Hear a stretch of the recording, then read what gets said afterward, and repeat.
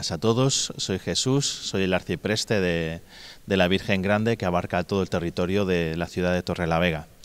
Eh, os quiero contar un poco pues, la situación de Cáritas a lo largo del periodo de confinamiento y bueno, pues las perspectivas de futuro que tenemos. En primer lugar, pues hay que decir que cuando se decretó el estado de alarma, pues lógicamente nuestras caritas se vieron afectadas eh, porque la mayoría de nuestros voluntarios que atienden a las personas más desfavorecidas pues son personas de riesgo. Entonces hemos tenido que habilitar pues teléfonos para, para poder atender a la gente.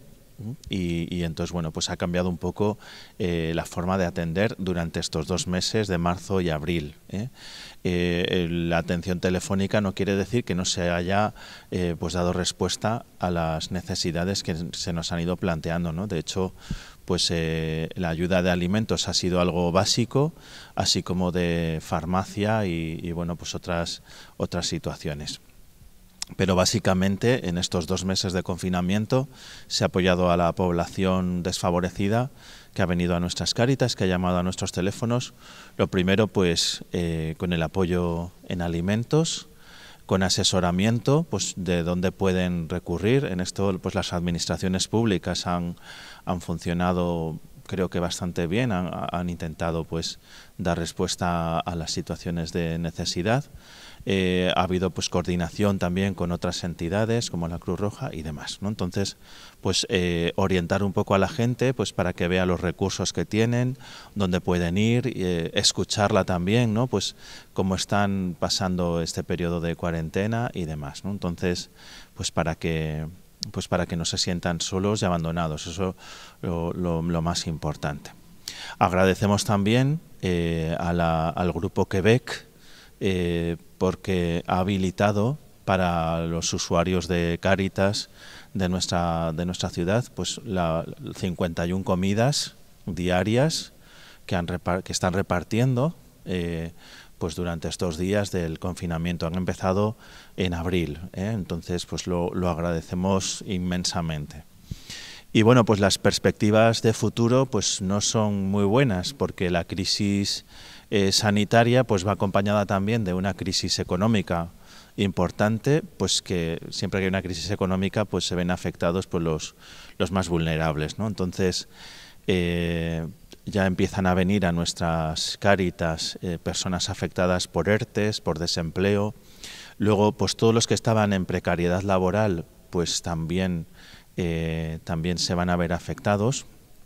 Eh, tenemos que tener en cuenta también que entre la población que viene a Cáritas, pues hay muchos que a lo mejor eh, trabajan con dinero negro, ¿no? En B y pues a lo mejor que hacen unas horas de limpieza o unas horas de plancha o un paseo con una persona mayor todos estos ingresos que complementaban un poco pues los escasos recursos que económicos que podían tener pues esto pues con la pandemia pues se ha visto eh, se han visto privados de esto de estos ingresos extras no entonces eh, pues bueno eh, esto es lo que va a venir lo que está viniendo y lo que va a venir en el futuro a partir de este mes ya empezamos a dar una cierta normalidad a, nuestro, a nuestra atención, aunque seguiremos con el trabajo eh, a través del teléfono, pero pues ya tendremos que ir atendiendo también a esas otras demandas, pues sobre todo relacionadas con los suministros y la vivienda, alquileres, facturas de luz,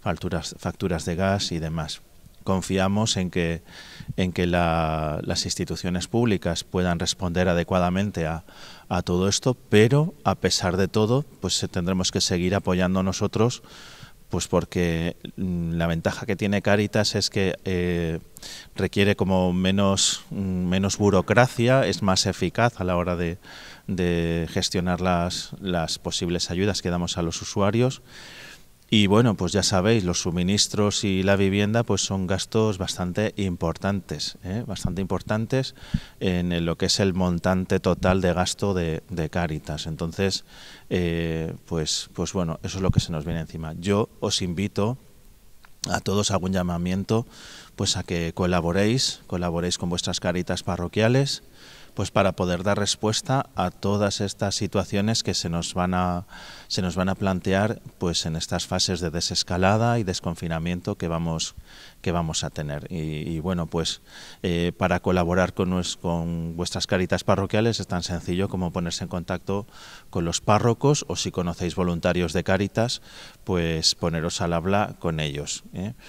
la crisis económica que se nos viene encima pues pues siempre pues va a afectar a los más vulnerables en primer lugar ¿eh?